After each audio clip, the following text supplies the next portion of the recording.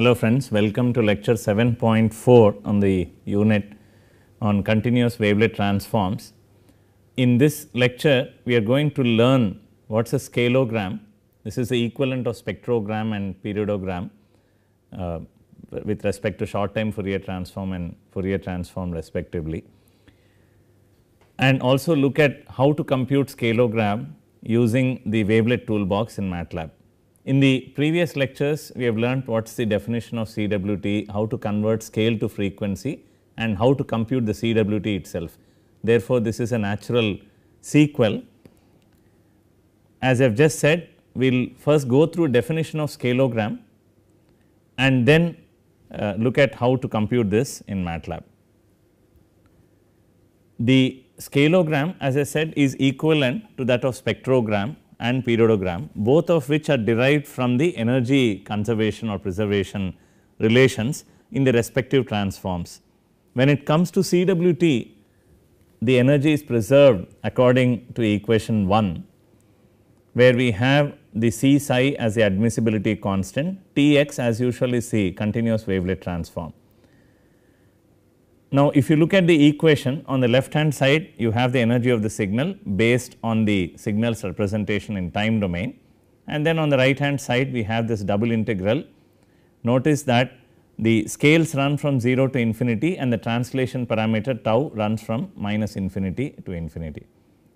Therefore, the energy density in the time scale plane is the mod T of tau comma s square by s square because the integral or the double integral of this quantity here gives us the energy of course barring a factor 1 over c psi.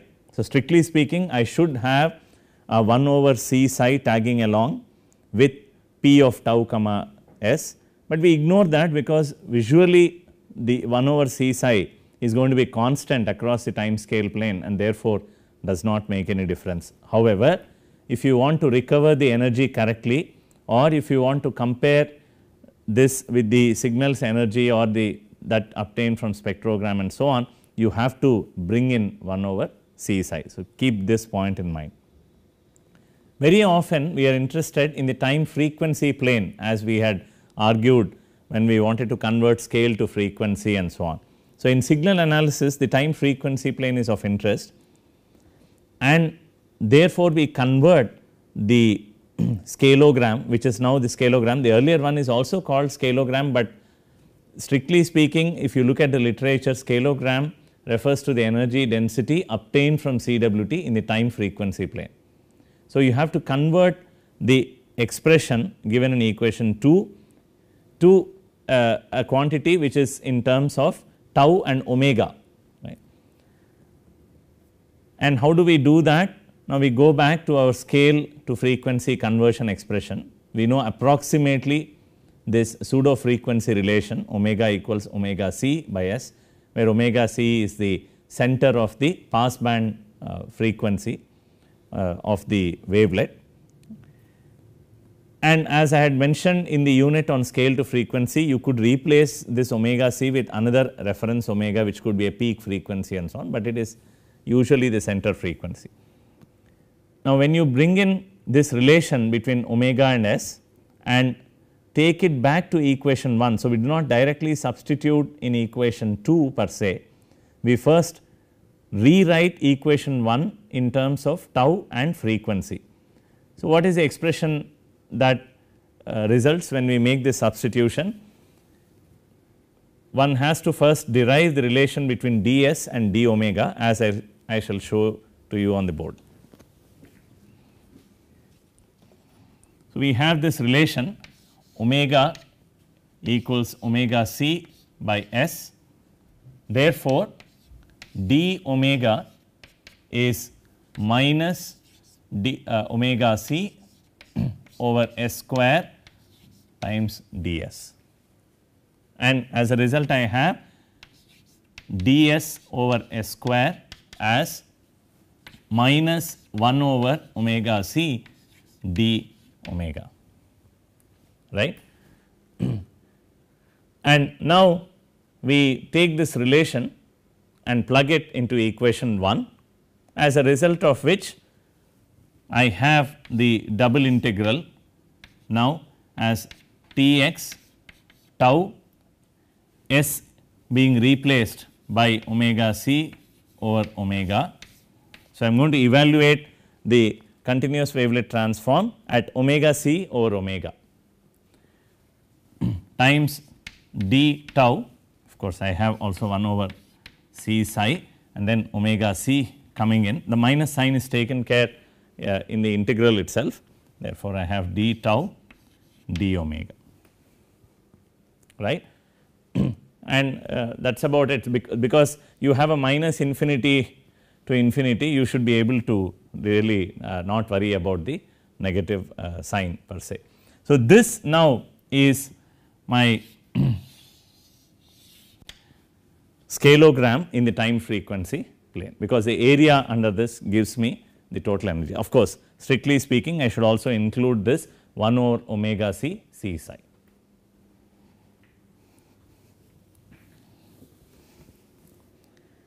So, that is exactly what we have in expression uh, equation 4 and now notice that the scaleogram is a function of tau and omega. And again to reiterate we have ignored 1 over omega c c psi in the expression because it does not make any difference to the visual appearance. However, if you want to recover the total energy you will have to put it back and then uh, into equation 4 and then integrate that in the time frequency plane. In fact, only if you put back 1 over omega c c psi into equation 4, you can make it comparable to the results that you obtain for example, from spectrogram or Wigner-Ville distribution and so on because they give you the correct energy density expressions in time frequency plane. now, normally what happens is the raw scalogram as we have defined in equation 4 does not give you the correct comparison bit between energies at different scales. And why does this happen?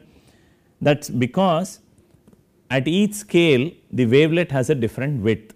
So, when I am calculating the energy density at a particular tau and at a particular scale I am calculating the energy at a particular tau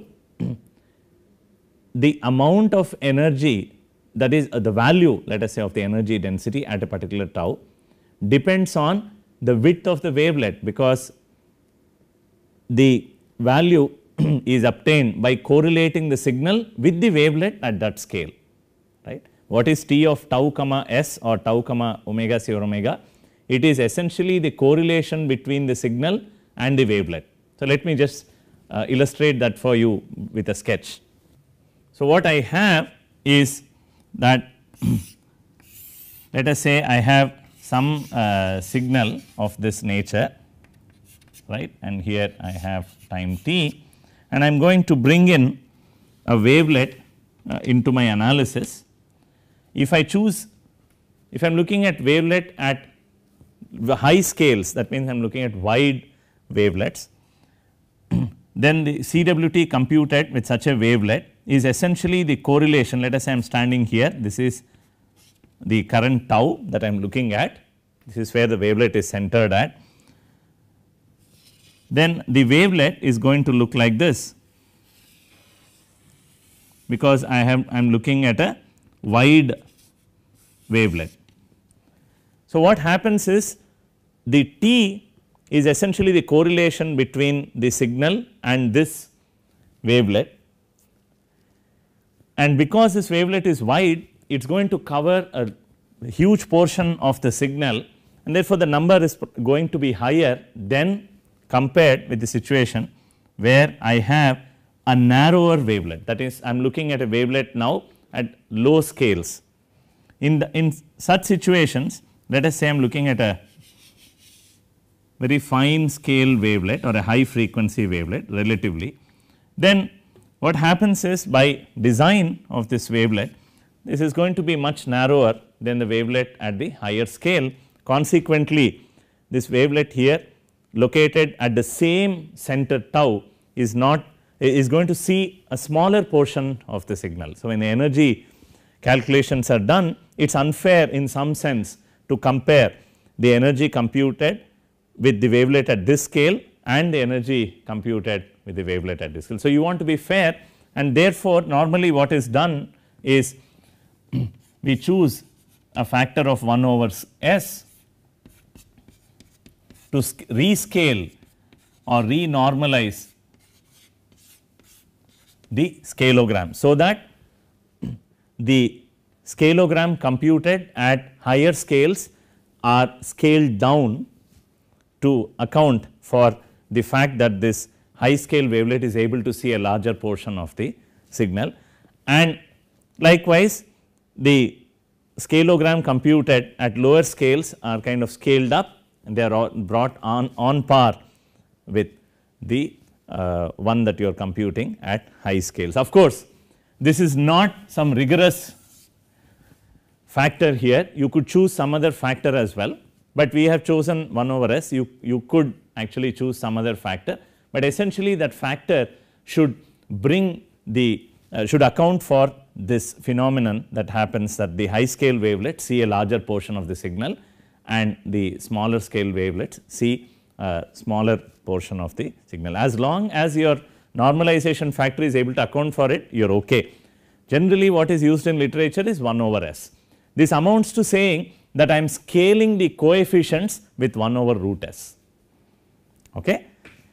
That is what it amounts and I will show you how to do things in uh, MATLAB, how to plot the normalized scaleogram and the unnormalized scaleogram as well. So, as we have just discussed normally one uses a normalized scaleogram with the normalization factor being 1 over s and 1 over s is essentially omega over omega c once again by virtue of the scale frequency relation. Now, before we really go and uh, learn how to compute the scaleogram and plot them in MATLAB, let us look at what this scaleogram essentially is doing. It is essentially spreading or capturing the energy of the signal not at a point in the time frequency plane, but it is capturing in a box. Normally these boxes are called Heisenberg boxes because the, the box itself comes into picture because of the uncertainty principle or the duration bandwidth principle and because again of the parallel between the duration bandwidth and the Heisenberg's uncertainty principle, these boxes are called Heisenberg boxes. What are the widths of these boxes in time and uh, along time and frequency axis? Well, to determine that let us start with a wavelet and normally because we use analytic wavelets, we have restricted this discussion to analytic wavelets. You can of course extend this discussion to real wavelets as well. So, let us assume that we have an analytic mother wave which is centered at t equals 0, uh, it is a fair assumption and let us assume that it has a center frequency omega c. And further let us denote the duration and bandwidth of this analytic mother wave by sigma square t bar and sigma square omega bar. Now, what you see in uh, equation 6 are essentially the, that is expression for sigma square t bar and sigma square omega bar are uh, they, they directly follow from the definitions of duration and bandwidth that we have learned in unit 4. Notice that we have assumed the wavelet to be located at uh, 0 that is in, uh, in, the sense the center of wavelet is 0 in time therefore, we only have a t square here. Now, when you consider the mother wavelet that is what we would like to know because what happens is the smearing of the signal's energy is determined by the smearing the energy spreads of the wavelet in time and frequency which is uh, which are essentially given by the duration and bandwidth of the wavelet.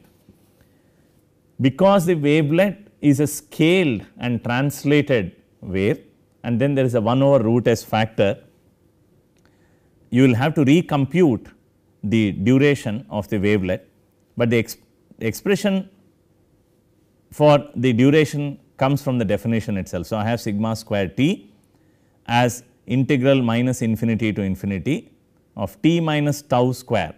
Remember that the wavelet is centered at tau whereas the, whereas the mother wave is assumed to be centered at 0. Therefore, the center time or the mean time is tau and I have mod psi tau comma s t square all I have to do to get to the answer that is as s square times sigma square t bar, I have to substitute the for the expression uh, for psi of tau comma s which is 1 over root s psi of t minus tau by s and do a change of variable. It is a very simple uh, one or two step derivation to arrive at this answer. So, I leave that to you it is a very simple exercise. So, all you have to do is replace this with 1 over root s psi of t minus tau by s and do a change of variable and you should be able to get this uh, expression. We have qualitatively talked about this when we were talking of the scaling properties of Fourier transforms in unit 3. And then we have sigma square omega again falling out of the definition of the bandwidth and I have here omega minus omega c over s. Remember when I scale the mother wave by factor s the center frequency shifted to omega c over s. Therefore, I have to use that here in the definition psi the big psi of tau comma s of omega is a Fourier transform of the wavelet now. And once again what you do is you first derive the relation between the big psi tau, tau comma s of omega and the big psi of omega which is a Fourier transform other way using the scaling property of the Fourier transforms. Uh, we have done this in the deriving uh, the FFT algorithm for computing CWT. So, you should be able to uh, get that relation there as well. So, just do that substitute that here and then again do a change of variable you should be able to show that essentially your sigma square omega is sigma square bar omega uh, over s square. That means now what is happening is as expected when I am looking at high scale wavelets that is wide wavelets they have larger duration than the mother wave, but then narrower bandwidth compared to the mother wave. Likewise for high frequency wavelets that is wavelets at small scales they have much smaller duration than the uh, mother wave, but a wider or a larger bandwidth than that of the mother wave. In other words, what the wavelet is doing to the signal energy is it is taking the signal energy and spreading it like you have seen on the board earlier.